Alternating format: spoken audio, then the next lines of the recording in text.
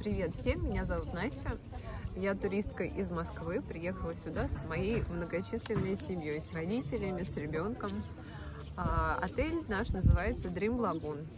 Здесь очень вкусная еда, нам очень нравится.